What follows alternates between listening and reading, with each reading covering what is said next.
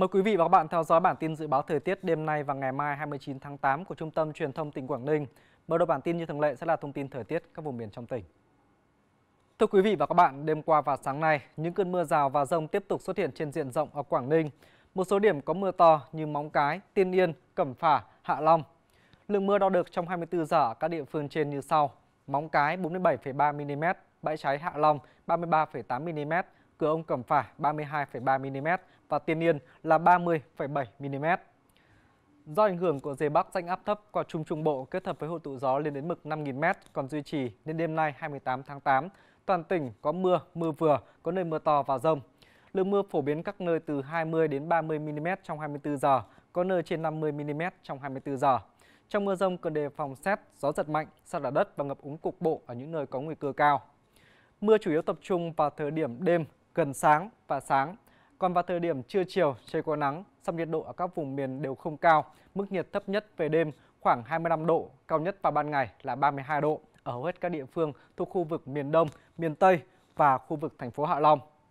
Còn ở vùng biển ngoài khơi, bao gồm cả huyện đảo Cô Tô, cần sáng và sáng có mưa, mưa vừa và rông, trưa chiều giảm mây trời nắng, gió đông nam cấp 3, cấp 4, sóng cấp 2, cấp 3, tầm nhìn xa 10 km, nhiệt độ từ 25 đến 31 độ. Như vậy là ngày mai tiếp tục là một ngày có mưa trên địa bàn tỉnh, thời tiết mát mẻ, dễ chịu. Còn sau đây là những thông tin dự báo thời tiết trên cả nước. Trong đêm nay và sáng sớm ngày mai, ở Bắc Bộ và các tỉnh Thanh Hóa, Nghệ An và Hà Tĩnh vẫn còn có mưa rông ở nhiều nơi. Cục bộ có nơi mưa vừa, mưa to và rông mạnh với mức nhiệt đêm mát mẻ. Sang ngày mai, gió đông nam suy yếu vì thế các tỉnh miền Bắc giảm mưa, trời chuyển nắng, nền nhiệt cao nhất trong ngày mai ở Bắc Bộ sẽ tăng lên ngưỡng từ 32 cho đến 33 độ. Đối với khu vực miền Trung, khu vực Thanh Hóa, Nghệ An và Hà Tĩnh, mưa rông cũng xuất hiện nhiều về đêm và sáng. Còn ở khu vực các tỉnh từ Quảng Bình trở xuống cho đến Thừa Thiên Huế, chỉ mưa ở vài nơi, nền nhiệt ngày mai ở các tỉnh Trung Bộ cũng duy trì trong khoảng từ 32 cho đến 34 độ. Đến chiều và tối mai ở khu vực Bắc Trung Bộ, các tỉnh Nam miền Trung sẽ có mưa rông trở lại, nhưng diện mưa ở mức giải rác. Còn ở Tây Nguyên và Nam Bộ, Do đang tồn tại một rãnh áp thấp nên trong đêm nay ở khu vực Tây Nguyên vẫn còn có mưa rông ở mức giải rác. Chiều và tối mai cả hai khu vực mưa rông nhiều trở lại, cục bộ có nơi mưa vừa, mưa to và rông mạnh.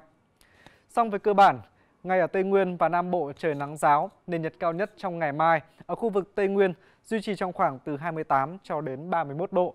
Còn ở khu vực Nam Bộ nhiệt độ nhỉnh hơn ở ngưỡng từ 32 cho đến 33 độ. Trên biển phía Bắc của Biển Đông cũng như khu vực huyện đảo Hoàng Sa, ít mưa, trời nắng, gió hướng Đông Nam cấp 4.